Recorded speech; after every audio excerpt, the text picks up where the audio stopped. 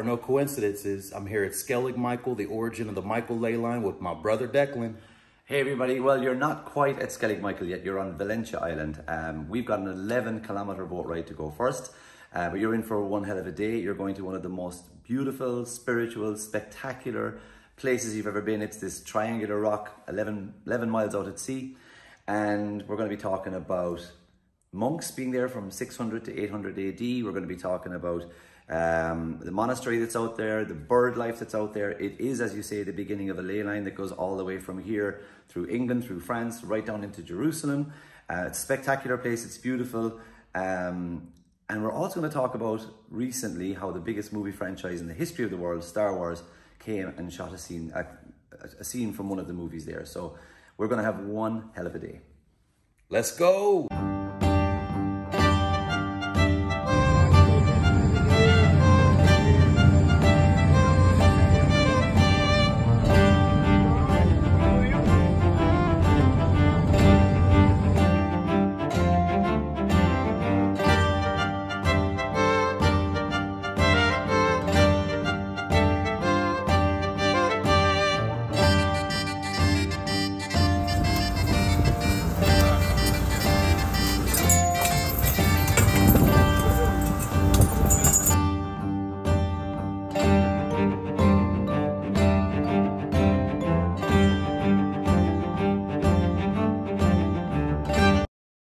Skellig Michael, well done. It was an hour and 15, an hour and 20 minutes of a pretty bouncy boat ride, but you survived it. And I know it's all worth it. We're just at the beginning. We've done about 50 out of 616 steps that they're, they're like 1,400 year old steps that were put there by the monks.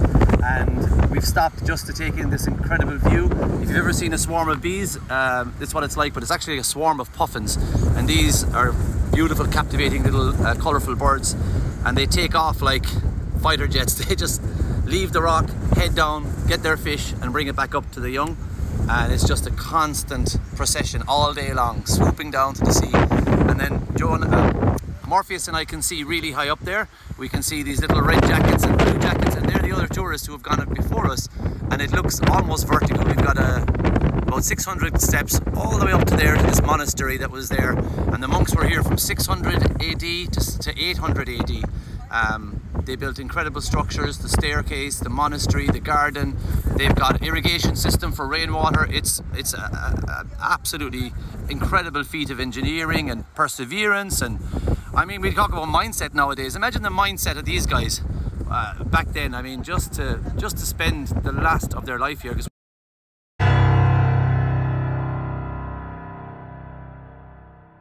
So we're about halfway up, as you'll hear with the, the breath.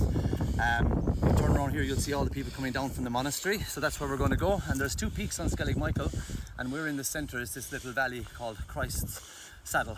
And when I first came out here, I know, 20 years ago, we went, went up here and had lunch. Um, you could sit up there and look, and all you see in front of you is the, is the ocean heading back to the USA.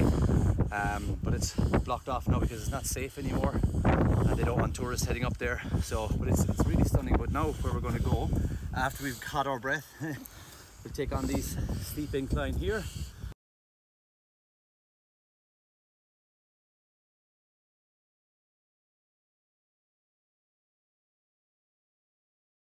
Here, here's the garden. We're going to go into the monastery in a moment, but I love this infrastructure here. Look, they come out the little channel, and because of the way it's constructed now, all the wind and the breeze is stopped. You could you could strike a match here. It's really calm.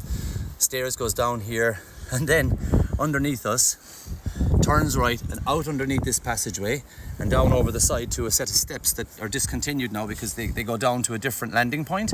But the monks had different landing points with different stairwells around the rock for if they were coming back from the mainland um, or if they were going out fishing that they'd access the ocean from different parts. Because if the wind was coming from the north it would be dangerous to access it from one place. So they had several different landing spots.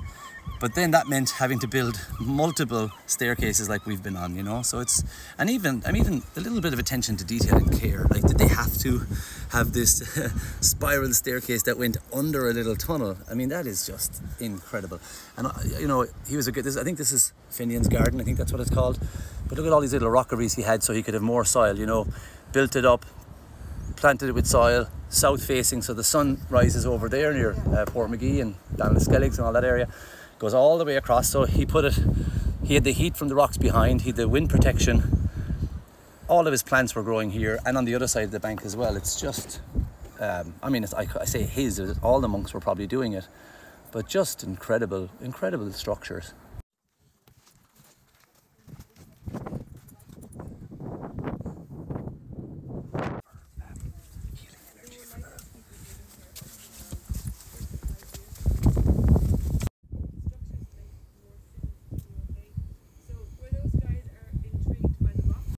Yeah, so we're here now at the monastery and you can see all the beehive huts behind us where they would have slept and prayed all day long.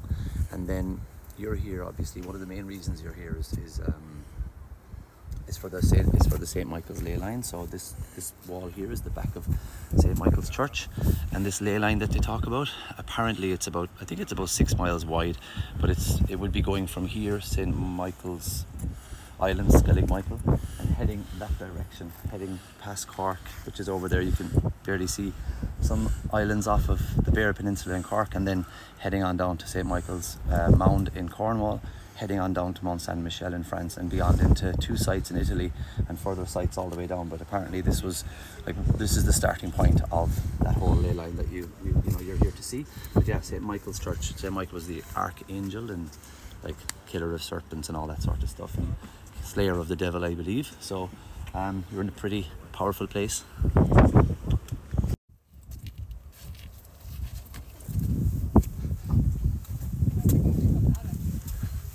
Wow, this is amazing.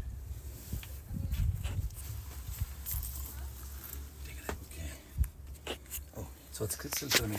Oh, oh, okay. So this is where they would have stayed. It's still dry in here.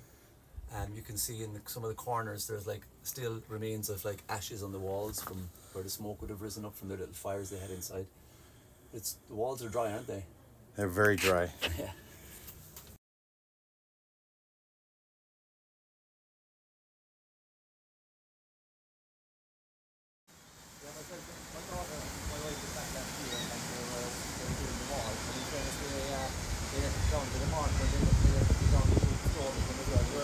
What are the chances being born in Galveston, Texas? I meet a brother over here that lives in Galveston. Come on, man. Oh, yeah. Texas and Ireland. So, Carmel? Yeah. Mount Carmel in Jerusalem, the end of the ley line. So, you are? The beginning and the end. So, there you go.